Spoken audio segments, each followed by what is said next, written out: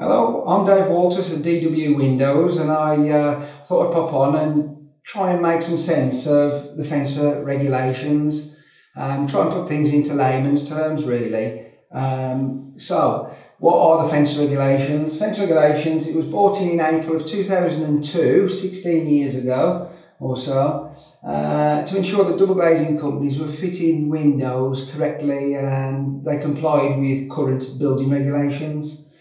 Um, DW we're a, we're a Fensa registered company, and basically what that means is we have got the authority through vetting and various other things that Fensa have done on us.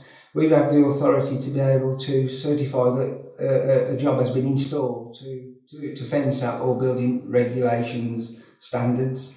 Uh, and what that means is when we fit the installation, we have to make sure that we use the correct uh, glass, fire escapes, uh, looking in bearing in mind safety and the, and the structure of your building as well. Uh, once we're happy with that and once we've fitted the job, we will register the job with Fensa and they will send you a certificate within within 30 days. They may want to come and check upon us and make sure that either during the installation or after the installation, they may get in touch with you to to, uh, to to come and check on us basically. So although we're a self-regulating company, we do get we do get checked up on. Um, okay, so today I wanted to talk for a little bit more about structure, which is document A of the Fensa or the building regulations. Yeah, so structure, what that, what that means is we have to ensure that um, no windows or doors are load bearing. Uh, in the past, in the 30s, they used to use big, thick timber frames and actually build on top of that, um, which was fine back in the day. But then when we come and change the windows for plastic windows that are half the size, obviously they can't take the strain. Um, so we have to basically ensure that the, the, the structure is not going to be affected by us fitting new UPVC windows. Um, Question one, these are frequently asked questions really that people have asked me over the years. Do we have to fit lintels to every window and door? And in new build, yes, any anything under the current regulations, a lintel must be fitted and the builder will do that. Uh, but replacement windows, no, we don't have to fit a lintel every time. So if we um, if we're changing your windows and we and, and your windows already got a lintel in, obviously, or whether there's soldier bricks above the window and they are doing the job and they're not failed in any way, then we don't have to charge people for a lintel just for the sake of it. Um, as long as we're satisfied that the uh, the window's not going to be receiving any of the load from the from the building. Um, how do we know if a window's going to need a lintel? Well, it's through experience mainly. You know, this is what we do day in, day out. Our surveyors are, are all time served surveyors who can, who can spot for, for various telltale, telltale signs. First one being broken glass uh, in the existing window. If there's any weight on that window, the first thing that's going to break is the glass. Secondly, any cracks above the window uh, and the normal pyramid above a window that, that we see from time to time. That are, that's telltale signs that that wind, as soon as you take that window out, then bricks are going to want to fall out, and that's the last thing that, that we want. Um, and local knowledge as well we may have worked for your neighbours, we may have worked in the area, we may have seen your type of property before, uh, and we can normally tell in advance, but not every time. We can look at a job and think, yeah, this is a 1970s house, 1980s, it's got over lintel in, should be okay. Um, but it might have been an unscrupulous builder who built it not to regulations. We turn up, try and take the window out, and the brickwork start, starts to drop.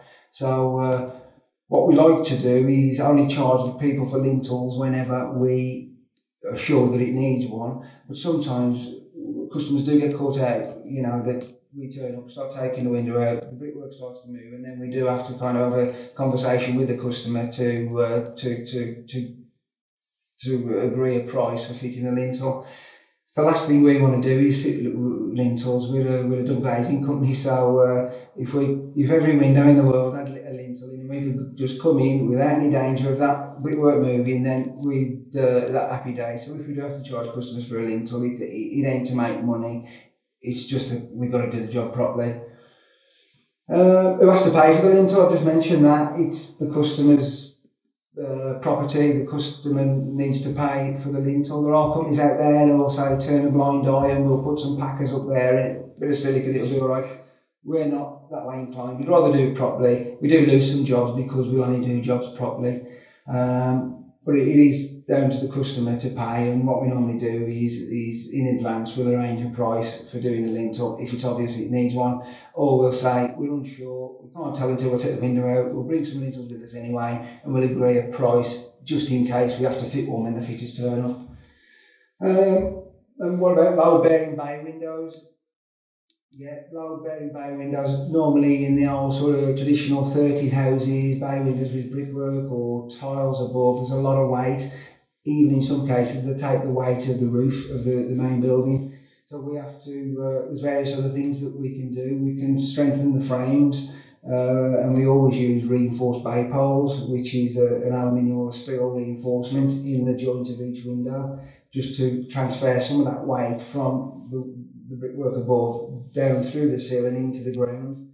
Uh, and, and then if it's a worst case scenario, we'd, we'd use jacking plates, which we, uh, small Acrows basically that go inside the, the, uh, the actual bay pole. And that then we can actually wind them up and lift a, a, bay window and take any weight off um, of, of, of, what we're going to be fitting below. So yeah, that's a little bit about the structure. I'll get back to you soon with the next section, but I hope that makes a little bit of sense. Um, but like I say, there are companies out there who will bend the rules, but uh, we try and keep it straightforward, honest, and if we're going to do a job, we only want to do it properly. So thanks for listening, and uh, if you if you do want to speak to anyone and get any advice, it's DW Windows. You can check us out on the uh, on Facebook and on the internet www.dwwindows.co.uk or if you want a free quote, give us a call on 0800 999 0909. Thank you, bye.